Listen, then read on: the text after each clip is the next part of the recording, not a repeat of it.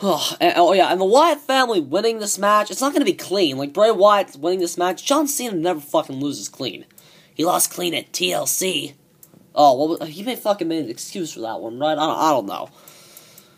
But John, John Cena hardly ever loses clean, and when he does, he just makes an excuse for it. It's fucking bullshit. John Cena never just fucking loses a match. He always makes an excuse.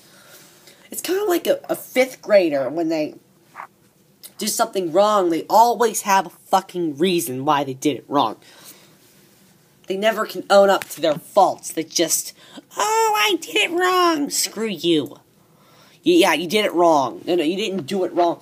My my arm hurt. I forgot. No, you're a fucking retard. You just fucked up. That's what it was. Okay, douchebag.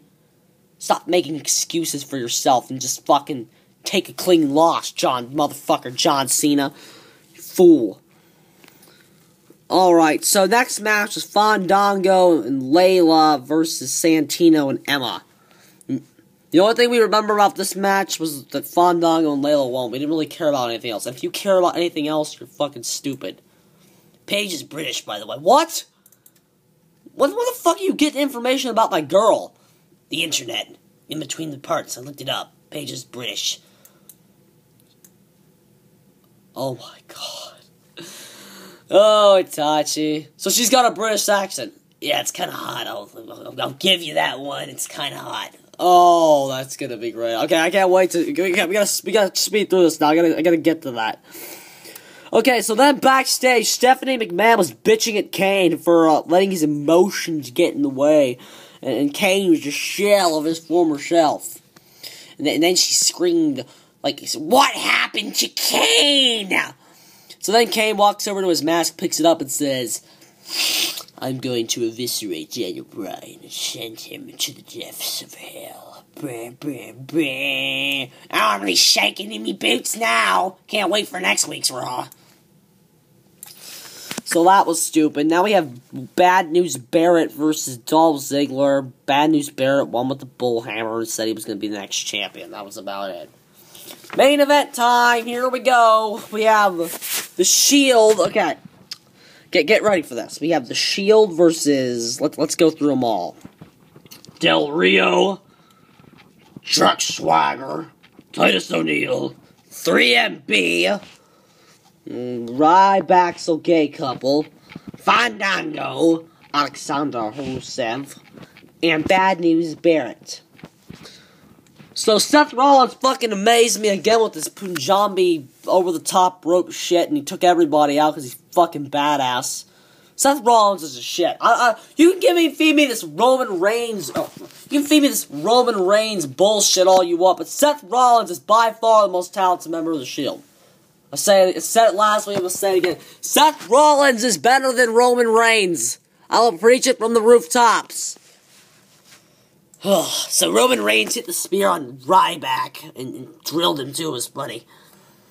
So Seth Rollins took everyone out, and so then eventually the numbers game got to the Shield, and they started losing and getting their asses kicked. And so then, as they were getting their asses kicked, the Evolution music hits. Yeah, I love their song. Evolution is a mystery, full of change and no one see. That, that's a good song.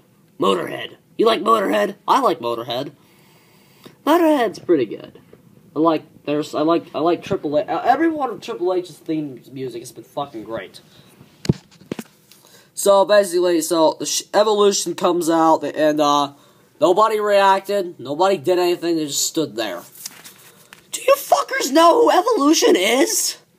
I know Evolution is. I actually watched WWE when I was a kid. Evolution were my fucking childhood bad guys. I fucking hated them.